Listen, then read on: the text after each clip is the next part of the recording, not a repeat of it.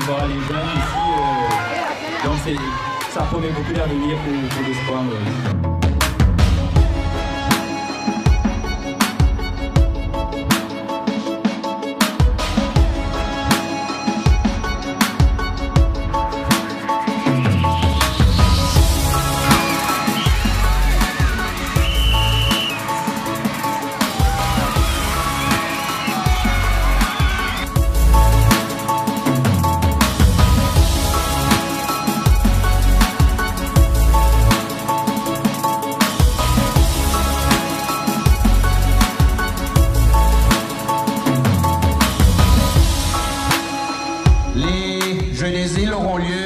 19 au 28 juillet.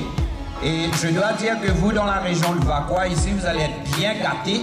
Venez tous nombreux supporter nos athlètes qui s'entraînent et qui veulent euh, nous rassembler en tant que Mauriciens.